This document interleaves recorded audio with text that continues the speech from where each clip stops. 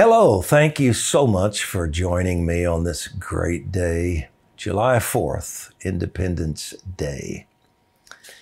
The title of our post today is What It Means to Be an American. On this special day, July 4th, I have asked my friend, Major William Ostan, retired, to write the Give Him 15 post. Some of you know that Will gave me my first Appeal to Heaven flag and introduced me to its history. He is a great lover of God and country. Will begins in honor of the, of the 150th anniversary of the signing of the Declaration of Independence, President Calvin Coolidge said, and he quotes him, It is often asserted that the world has made a great deal of progress since 1776, and that we may therefore very well discard their conclusions for something more modern. But that reasoning cannot be applied to this great charter. If all men are created equal, that is final. If they are endowed with unalienable rights, that's final. If governments derive their powers from the consent of the governed, that is final. No advance, no progress can be made beyond these propositions. End of President Coolidge's quote. We are now 96 years past the time President Coolidge spoke those prescient words and 246 years out from the signing of that exceptional document. As Coolidge so aptly pointed out, many would want us to look at the progress, our progress in quotes, our nation has made and conclude that it would be appropriate to exchange a docu- document so antiquated with something more modern. But we would be foolish to look upon our declaration in this way. We must instead educate ourselves and our children on the ways in which our founders set up a lasting and powerful foundation, one that was designed to protect our God given rights and foster a republic in which we could live out those freedoms. Some Americans buy into the leftist ideology that bombards us at every turn, stating that our founding documents are oppressive, discriminatory, and outdated. Those who oppose the content object on the basis of our nation's past moral failings. However, we can unconditionally own the sins of our past without discarding the framework of liberty passed down to us. Dr. Martin Luther King Jr. said, When the architects of our republic wrote the magnificent words of the Constitution and the Declaration of Independence, they were signing a promissory note to which every American was to fall heir. This note was a promise that all men, yes, black men as well as white men, would be guaranteed the inalienable rights to life, liberty, and the pursuit of happiness. End quote from Dr. King. The misguided objections of some in our current culture could not be further from the truth. 1776 Project states it this way America's founding principles are true not because any generation, including our own, has lived them perfectly, but because they're based upon the eternal truths of the human condition. They're rooted in our capacity for evil and power for good, our longing for truth and striving for justice, our need for order, and our love of freedom.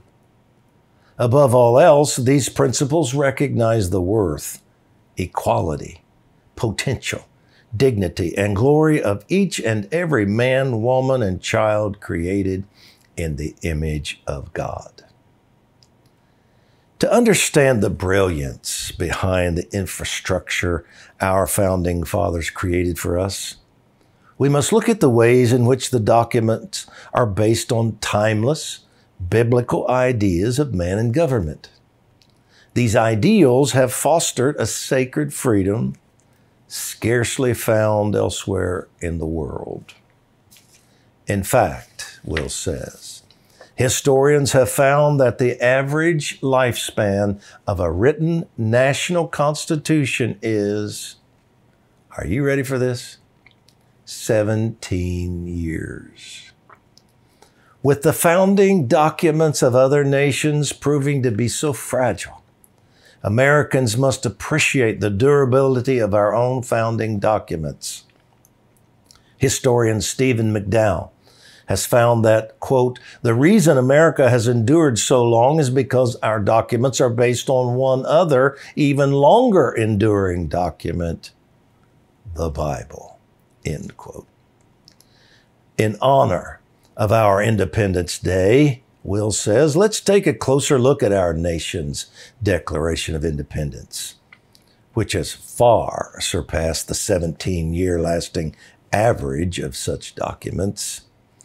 The biblical ideas found within can be summed up in the four in the following four points, followed by exact wording from the declaration itself. In other words, he makes a point, he gives you then the quote in the declaration from where he finds it. First of all, all men are equal. The declaration says we hold these truths to be self evident that all men are created equal. Secondly, man, being created in the divine image, has independent value.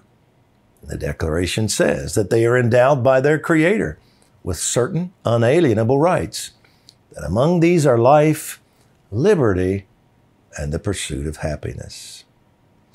Thirdly, man is superior to the state or the government. And the Declaration says that to secure these rights, governments are instituted among men.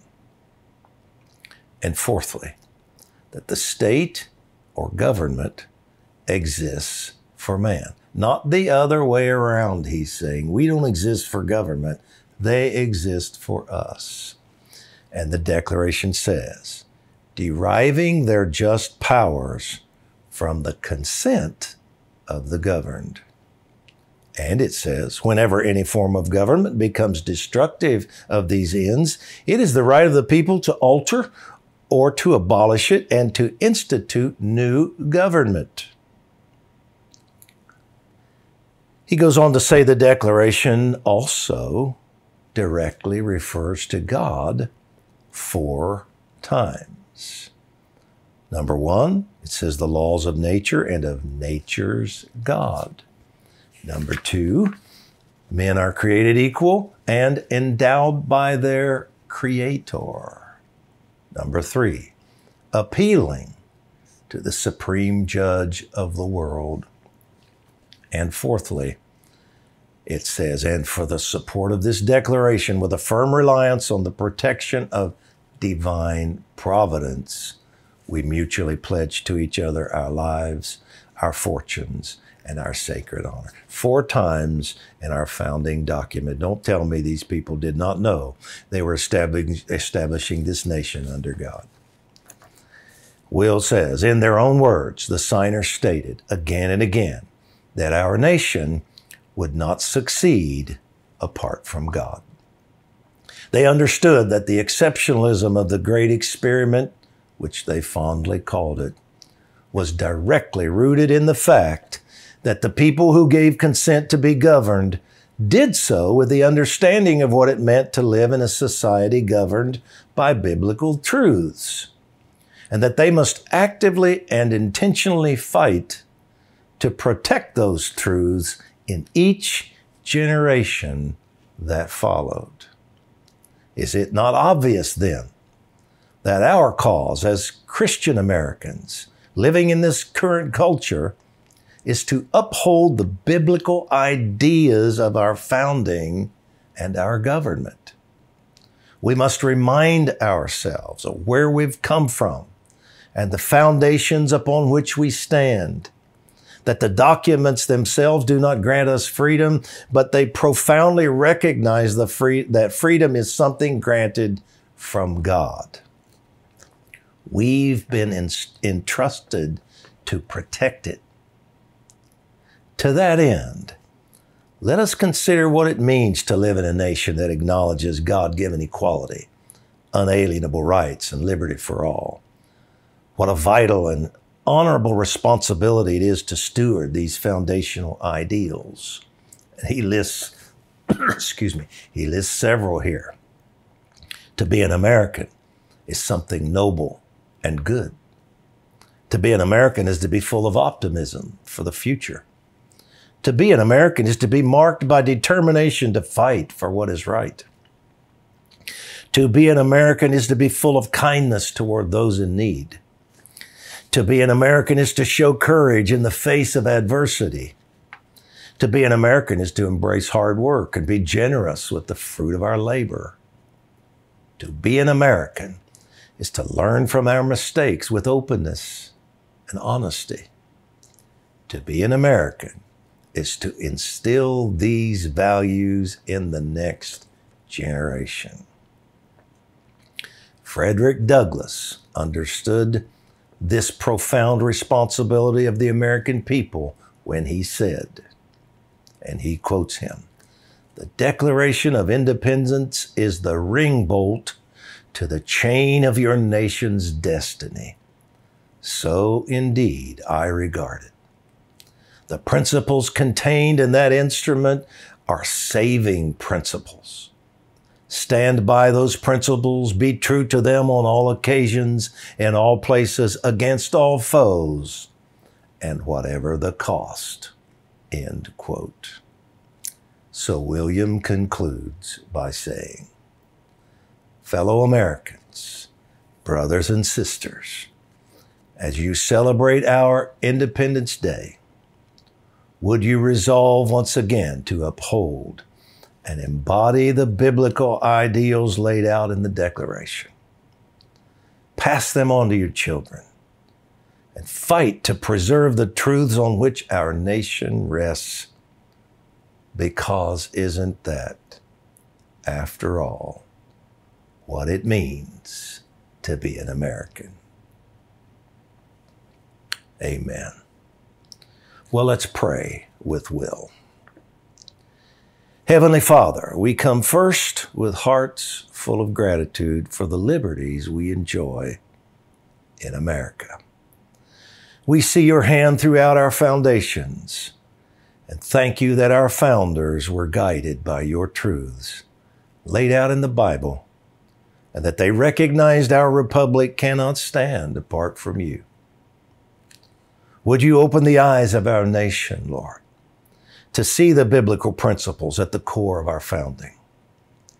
Please silence the voice of the enemy that would seek to discredit our heritage and bring our nation to ruin. Empower us to renew our resolve to live out the biblical ideals necessary for the preservation of this country. Do this in order that America will once again be a city on a hill, shining brightly to spread the gospel to the ends of the earth. In Jesus' name, we pray this. Amen. And the decree is we declare that America will once again embrace her God given heritage. Amen. William J. Ostan is a medically retired U.S. Army major and combat veteran of the wars in Iraq and Afghanistan. He's the founder and president of Arc of Justice, a nonprofit organization that advocates for wounded warriors still on active duty. Will and his wife Jennifer are currently spearheading the Wounded Warrior Bill of Rights, H.R. 8081, in Congress. You can find out more about their story using the link we provided to arcofjusticeusa.org. I encourage you on this special day, if you can, God leads you to send a, a generous gift to this organization. I call it a ministry. It's what it is. It ministers to people, our soldiers, our wounded warriors, uh, doing a great job. Bill and Jennifer literally bleed the red, white, and blue. They love this nation. And he serves serves it still sacrificially through his pain and and injuries. So if the Lord leads you to, send him a generous gift. Thank you for joining me. Have a great day with your family and friends, and I'll see you tomorrow.